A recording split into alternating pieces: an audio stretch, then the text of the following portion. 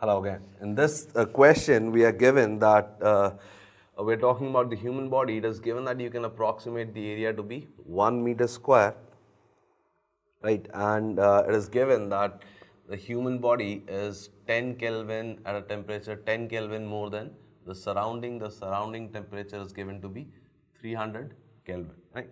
So the amount of heat that is radiated, you know, is sigma into area, which is 1, into T raised to 4, uh, which is the body temperature, minus T naught raised to 4. So we are treating this body like a perfect black body. So we have taken the emissivity to be 1. Now, uh, you want to find in the first option the amount of change in the heat that is radiated. So, uh, if we talk about small changes, you could say that delta Q dot is of, uh, is of the form sigma into T will be constant. So, this is uh, T raised to 4. This is the body temperature. Since that is not changing, the change in it will be 0 minus uh, the change in the amount of uh, temperature in this. You can differentiate that 4 into T naught cube into delta T.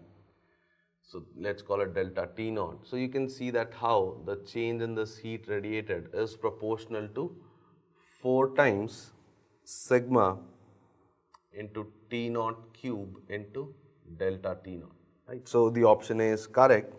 The next one is reducing the exposed surface area allows the human body to maintain the same body temperature while reducing the energy loss.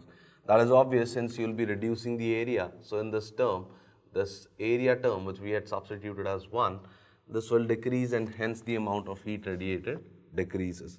The second option was actually that the body temperature rises significantly then the peak in the spectrum of electromagnetic waves radiated by the body would shift to longer wavelengths. So, you know Wien's displacement law, lambda m uh, into t is equal to a constant. So, as t increases, lambda will decrease, right. So, as temperature increases, wavelength will shift to the smaller wavelength. So, it shifts to the higher frequency. That is why option B is incorrect.